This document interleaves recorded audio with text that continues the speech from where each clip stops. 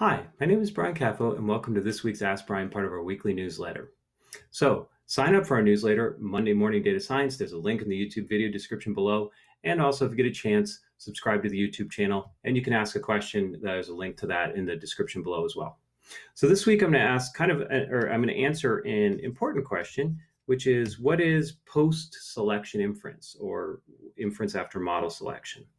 So, uh, I'm going to assume when you when you do this, you know, or when you're listening to this video, you have a rough idea of what statistical inference is and what type one error rates are, and that you might have run a linear model or a regression, gone down to the coefficients, looked at the p-value, or generated a, a confidence interval, compared your p-values, say, to 0.05, and thought that, hey, that's a 5% level test. That gives me a 5% error rate. Okay. So the idea behind post-model selection inference is in many cases, you actually don't have a 5% error rate when you do that process. So let me go through it with an example. Imagine you have a clinical trial where you have a treatment variable, let's say X1, that's one whether you treated and zero if you were a control, and you have some outcome variable Y, and you want to relate uh, X1 to Y. You wanted to ascertain whether the treatment is affecting the response, but you have this other potential confounding variable that you want to look at X2.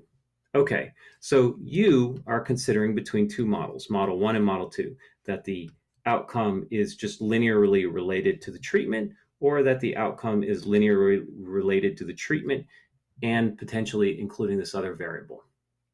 Okay, and so I've actually put different parameters, beta naught beta 1 versus gamma naught, gamma 1 and gamma 2. I've done that because they're interpreted differently, and I want to emphasize that these are two different models. So if you actually first have some model selection procedure between model one and model two, and then whichever one you select, look at the coefficient in front of x1 and compare its p-value to 0.05, the type 1 error rate may not wind up being 5% for that procedure.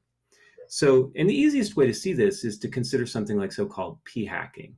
So imagine if instead of having two model, two models, you had 10,000 models. And you simply kept putting in and out regressors until the coefficient in front of the x1 in front of the treatment variable became as significant as possible.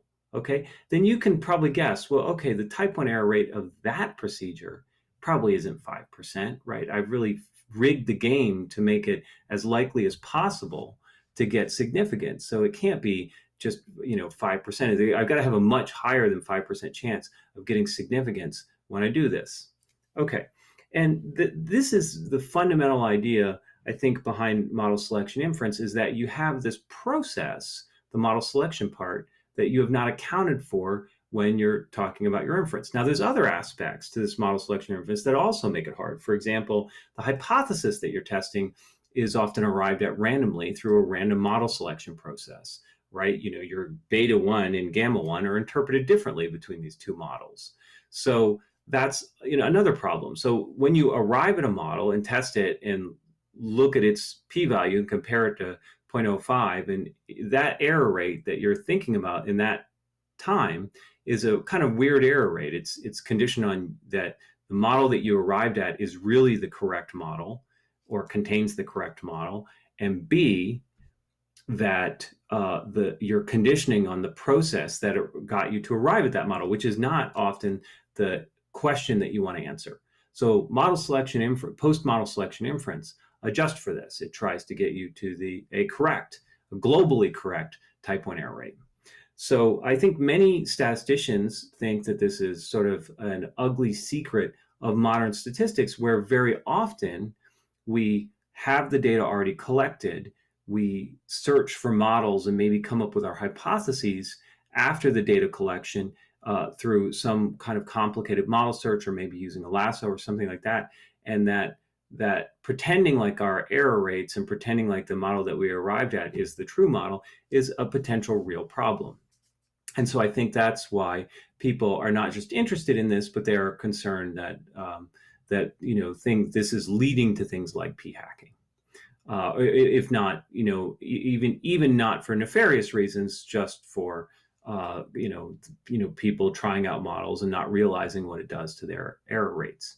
Okay, so um, uh, I, I, think that gives you a pretty good sense of you know just the gist of the problem. It's it's kind of a comp- complicated problem then to work on actually.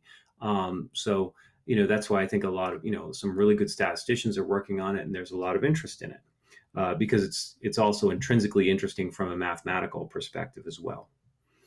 Okay, so I guess I should say maybe a minute about how you can avoid these things. Well, uh, the uh, U.S. Food and Drug Administration tries to avoid these things by being highly prescriptive in how people run their models. They want people to have a clear protocol set in place ahead of time, uh, and they help create the study design that generates the models. And then they also want people, if there is a model selection, to actually build that into their error rate correction. So I think in the cases where we're really concerned about these sort of things and really concerned about adhering to our type 1 error rates, like we would in a regulatory agency like the Food and Drug Administration, they actually have long thought of this kind of problem and put in controls to prevent um, you know, uh, spurious findings, spurious uh, research results coming out and drugs being approved that are not safe or effective.